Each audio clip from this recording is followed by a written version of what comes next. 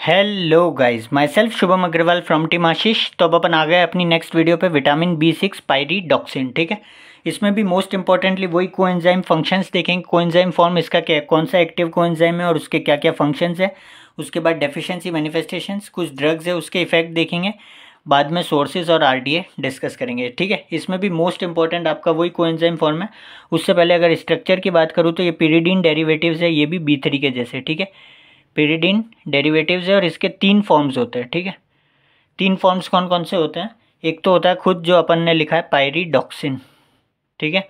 Pyridoxine जो alcohol है, एक होता है पायरीडॉक्सल जो क्या है? एल्डेहाइड है और एक होता है पायरीडॉक्सामीन पायरीडॉक्सामीन जो कि एक अमाइन है, ठीक है? तो ये तीन फॉर्म्स हो गए, ध्यान पायरीडॉक्सिन पायरीडॉक्सल एंड पायरीडॉक्सामिन ठीक है? ये तीन फॉर्म्स होते हैं और इसका जो एक्टिव फॉर्म जो होता है एक्टिव को एंजाइम जो फॉर्म है इसका, वो होता है P L P pyridoxal phosphate अपन ने कई मेटाबॉलिज्म में रिएक्शंस भी देखी थी जो पीएलपी डिपेंडेंट थी तो ये वो अपन रिफ़्रेश करेंगे अभी, ठीक है? कि पीएलपी डिपेंडेंट कौन कौन सी थी? तो क्या क्या फ़ंक्शंस है पायरीडॉक्सल फॉस्फेट के? देखते हैं, ठीक है?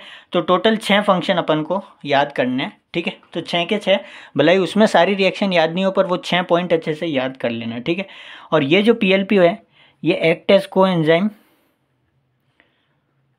for major majority of reactions जो होती है अमीनो एसिड मेटाबॉलिज्म में जो अपन ने पढ़ी थी उस पर ये डिपेंडेंट है, ठीक है? जो अपन ने, याद है आपको जब अपन ने बी वन विटामिन पढ़ा था, जब मैंने बोला था कि कार्बोहाइड्रेट मेटाबॉलिज्म में मेजर लिंक आपका बी वन कर रहा है, और ये बी सिक्स जो है, ये आपका पायरिडॉक्सिन जो है, ये protein metabolism amino acid metabolism से रिलेट कर रहा है, ठीक है? तो इसकी आरडीए पढ़ेंगे जब अपन में इसको, इसकी बात करेंगे, ठीक है? तो अभी अपन रिएक्शंस देखते हैं, ठीक है? तो टोटल छः अपन को पढ़नी है। सबसे पहले अपन पढ़ रहे ट्रांस एमिनेशन रिएक्शंस नाम सुनते ही ध्यान आ गई होगी कौन सी थी? ठीक है? ट्रांस एमिनेशन रिएक्शंस कौन कौन सी थी? कौन से एंजाइम इसमें इन्वॉल्व होते हैं? A L T A S T S G P T S G O T अपन ने पढ़े थे ना अच्छे से?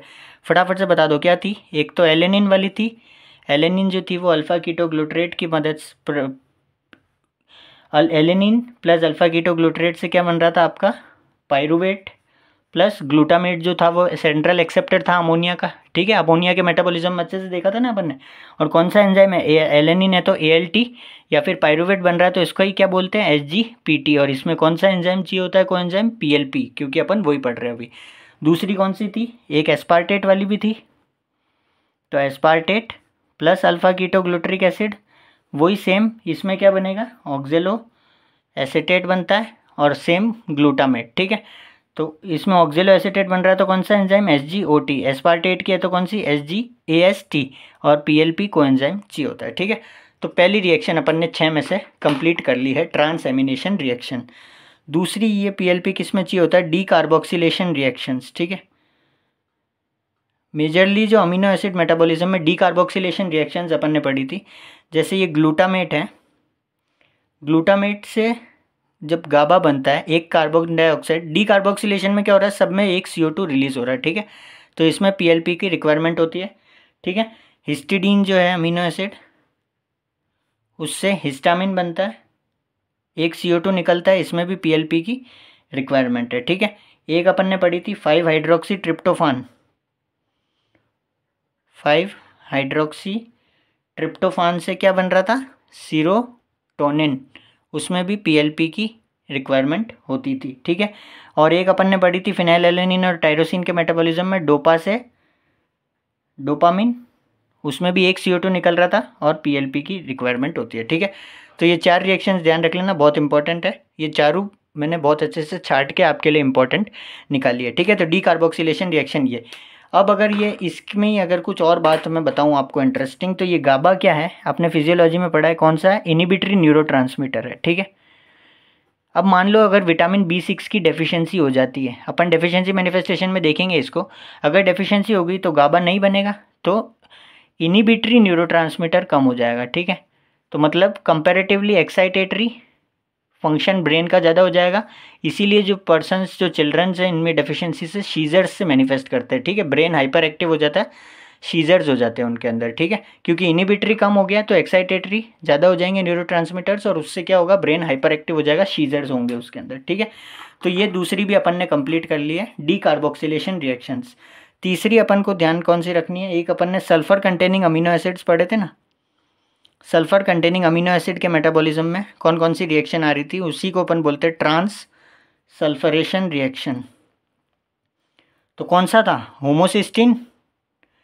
याद आ रही है वो रिएक्शन होमोसिस्टिन, जो पहले सीरीन से रिएक्ट कर रहा था और पीएलपी एंजाइम उसमें चाहिए था। पीएलपी को एंजाइम और क्या बना रहा था सबसे पहले? सिस्टा। सिस्टा थायोनिन ठीक है? कौन सा एंजाइम था इसमें?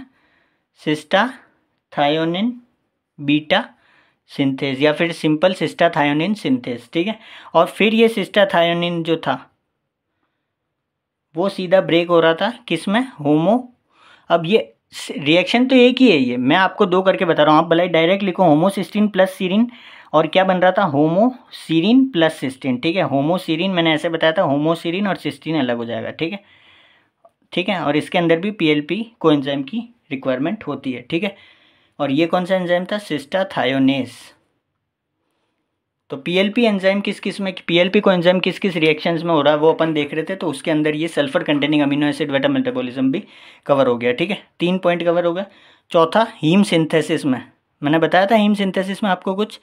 रेट लिमिटिंग एंजाइम कौन सा था? रेट लिमिटिंग एंजाइम कौन सा था? ए एल ए सिंथेटेस और ये पीएलपी डिपेंडेंट था। फ़र्स्ट ही रिएक्शन कौन कौन सी कौन सी थी? सक्सीनाइल को एंजाइम ए जो था वो किसके साथ कंबाइन हो रहा था? ग्लाइसिन के साथ। और क्या बना रहा था? Delta amino levulinic acid first step rate limiting step A L synthetase enzyme की मदद से।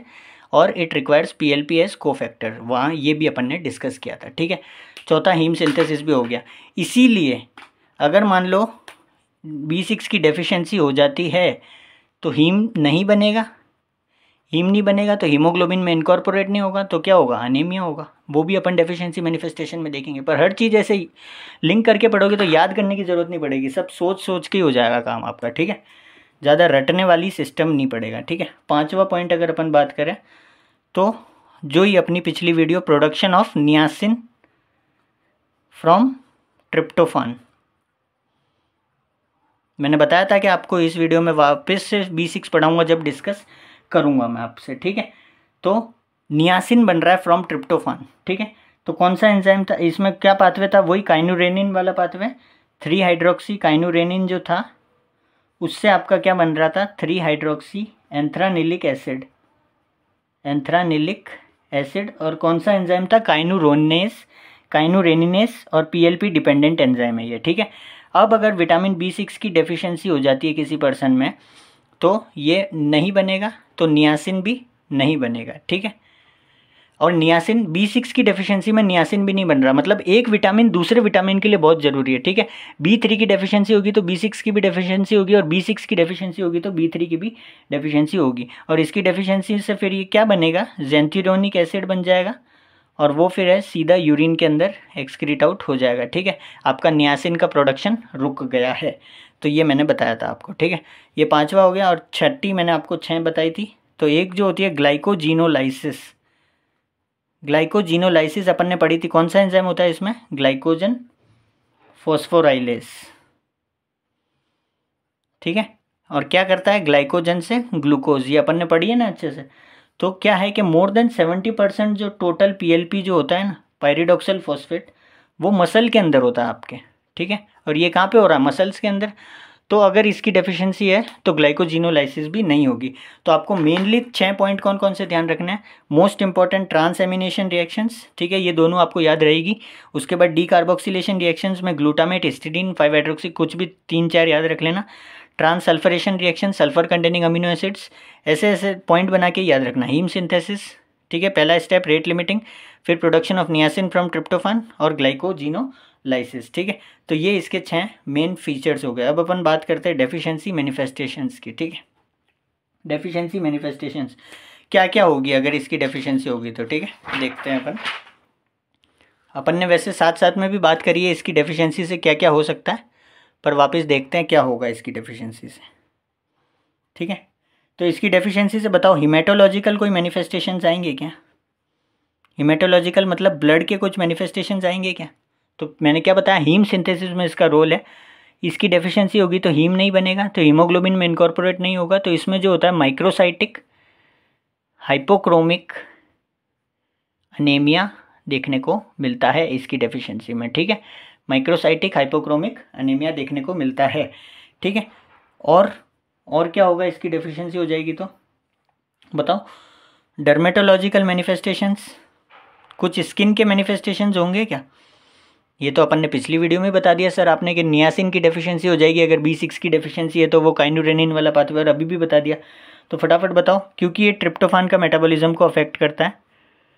ट्रिप्टोफान के मेटाबॉलिज्म को अफेक्ट करता है तो ट्रिप्टोफान से नियासिन नहीं बन रहा तो नियासिन की डेफिशिएंसी इसकी डेफिशिएंसी से भी मैनिफेस्ट होगी। अगर बी सिक्स की डेफिशिएंसी तो नियासिन की डेफिशिएंसी मैनिफेस्ट होगी। और पेलेग्रा लाइक फीचर्स देखने को मिलेंगे, वही D D D diarrhoea dementia dermatitis ठीक है? और नेल्स के अंदर अगर अपन बात करें तो इरेगुलर डेंटेशन इन नेल्स देखने को मिलेगा, ठीक है?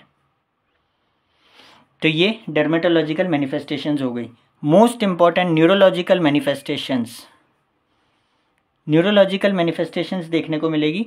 क्यों? क्योंकि ये अपन ने देखा सीरोटोनिन एपिनेफ्रिन इनके लेवल जो है ये अच्छे से प्रोड्यूस नहीं हो रहे इसकी डेफिशिएंसी में, ठीक है? क्योंकि इनमें, ये अपन कर रहे थे ना ये डी कार्बोक्सिलेशन और वो और उससे नहीं हो पा रहा, अब सीरोटोनिन और वो। तो सीरोटोनिन और ये अच्छे से प्रोड्यूस नहीं हो रहे। और चिल्ड्रन में मैंने बात करी कन्वल्जन्स देखने को मिलते हैं। क्यों देखने को मिलते हैं? क्योंकि गाबा का प्रोडक्शन नहीं हो रहा। और गाबा कौन सा है? इनिबिटरी न्यूरो है। ये नहीं हो रहा तो एक्साइटेटरी बढ़ जाएँगे और उसके कारण ब्रेन हाइपर एक्साइटेबल हो जाएगा और शीजर्स और कन्वल्जन्स देखने को मिलेंगे। तो ये न्यूरोलॉजिकल मैनिफेस्टेशन हो गए, ठीक है? और क्या क्या देखने को मिल सकता है? होमोसिस्टीन्यूरिया भी देखने को मिल सकता है, ठीक है? होमोसिस्टीन्यूरिया होमोसिस्टीन्यूरिया अगर देखने को मिलता है तो कार्डियोवास्कुलर रिस्क बढ़ जाता है। ये अपन ने एथेरोस्क्लेरोसिस, लिपिड मेटाबॉलिज्म में भी मैंने आपको बताया था कि होमोसिस्टीन का लेवल अगर बढ़ जाएगा, क्योंकि होमोसिस्टीन का क्यों बढ़ रहा है? वही अपन ने देखा ना ट्रांसल्फरेशन रिएक्शन है। अगर पीएलपी कम है तो होमोसिस्टीन का डिग्रेडेशन नहीं होगा। होमोसिस्टीन से फिर वो जो अपना बन रहा था, होमोसीरिन और सिस्टीन, वो नहीं बनेगा तो होमोसिस्टीन का लेवल बढ़ जाएगा। अगर ब्लड में ज़्यादा होगा तो यूरिन में पास आउट होगा, यूरिन में होगा तो होमोसिस्टीन यूरिया कहेंगे उसको और it is directly proportional to cardiovascular risk directly proportional to chances of myocardial infarction ठीक है? तो ये डेफिशिएंसी मैनिफेस्टेशंस हो गई। अब कुछ ड्रग के इफ़ेक्ट की अगर अपन बात करें तो वही है कि कौन सी ड्रग इसको, इसकी डेफिशिएंसी कौन कौन सी ड्रग की वजह से बी सिक्स की डेफिशिएंसी हो जाती है, ठीक है? बी सिक्स की डेफिशिएंसी कौन कौन से ड्रग की वजह से होती है तो उसमें दो तीन नाम आपको याद रखने एक तो अपन ने पिछली वीडियो में बताई थी आइसोनाइजेड जिसको I N H anti tubercular drug है most widely use anti tubercular drug है। तो ये क्या करती है? ये डिक्रीज़ करती है formation of P L P एक और ड्रग है साइक्लोसीरिन ये भी अपन टीबी में ही देते हैं साइक्लोसीरिन जो है। ये भी है बी सिक्स एंटागोनिस्ट है तो इस इस ड्रग की वजह से भी इसकी डेफिशिएंसी हो सकती है। और एक है पेनिसिलमीन पेनिसिलिनामीन ठीक है? तो इन तीनों ड्रग की वजह से बी सिक्स की डेफिशिएंसी मैनिफेस्ट हो सकती है, ठीक है? तो वो बात ध्यान रख सकते हैं, ठीक है? अब सिंपल वही सोर्सेज वोर्सेज की बात कर ले तो वही सबके सेम ही सोर्सेज चल रहे ईस्ट वीट और cereals legumes pulses oil seeds ठीक है? एग मिल्क मिल्क हो गया मीट हो गया आपके, ये सब। फ़िश हो गए ग्रीन लिफी वेजिटेबल्स ये सोर्सेज हो गए। अब आरडीए की बात बताओ मेरे को। अपन ने बी वन डिस्कस किया था जब क्या बोला था कि कार्बोहाइड्रेट मेटाबॉलिज्म से लिंक था तो it depends upon the carbohydrate in diets जितनी कैलोरी लोगे, उतनी ज़्यादा। और ये प्रोटीन मेटाबॉलिज्म से लिंक है तो it depends upon protein intake ठीक है? प्रोटीन इंटेक अगर ज़्यादा लोगे तो इसकी इसकी भी ज़रूरत बढ़ती जाएगी, ठीक है? तो अगर प्रोटीन ज़्यादा डाइट में ले रहे हो तो विटामिन बी सिक्स भी उतना होना चाहिए ताकि वो प्रोटीन का मेटाबॉलिज्म अच्छे से हो सके, ठीक है? ऑन एन एवरेज अपन बात करें तो one to two milligram per day इसकी आर है, ठीक है? सेम वही आर है और प्रेगनेंसी और लेक्टेशन के अंदर इसकी रिक्वायरमेंट बढ़ जाती है तो around two point five milligram per day इसकी रिकमेंडेड डाइटरी अलाउंस होती है। बट ये बात ध्यान रखना कि प्रोटीन मेटाबॉलिज्म से लिंक है प्रोटीन इंटेक पे डिपेंड करता है, ठीक है? कई बार एमसीक्यू और ये आते हैं तो ये अपन को गलत नहीं करना है, ठीक है? कोई भी चीज़ अपन गलत तो करेंगे ही नहीं, ठीक है? क्योंकि अपन ने अच्छे से डेफिशिएंसी मैनिफेस्टेशन देख लिया उसके बाद अच्छे से ये छः रिएक्शंस देख ली, ये अच्छे से ध्यान रखना है। Transamination decarboxylation transsulphuration haem synthesis niacin वाला और ग्लाइकोजिनोलाइसिस ठीक है? ऐसे ही इस लाइन से याद रखना। बहुत बढ़िया से और बाकी कोई दिक्कत नहीं है, ठीक है? तो ये अपना बी सिक्स विटामिन भी अपन ने देख लिया, ठीक है? तो मिलते हैं अगली वीडियो में, जब तक के लिए जय हिंद, जय भारत और कमेंट में करके ज़रूर बताओ कि कैसा क्या मज़ा आ रहा है कि नहीं, क्योंकि ये विटामिन बहुत ज़्यादा बोरिंग टॉपिक है, पर उसको भी इतना इंटरेस्टिंग आपके लिए। प्रीवियस वाला भी ले लेके और अच्छे से कि आपको लगे कि हाँ ये रिएक्शंस भी हमने पढ़ी है, और वो डायरेक्ट मैं चाहता तो ऐसे ही लिख देता और ये रिएक्शन आप याद करते बैठते पर, ठीक है? मैं मेरी तरफ़ से कर रहा हूँ तो आपको भी कुछ कमेंट वमेंट करके बताओ प्लीज़, कैसा लग रहा है, क्या मज़ा आ रहा है कि नहीं। ठीक है तो मुझे भी कॉन्फिडेंस और आएगा। तो मिलते हैं अगली वीडियो में, जब तक के लिए जय हिंद, जय भारत।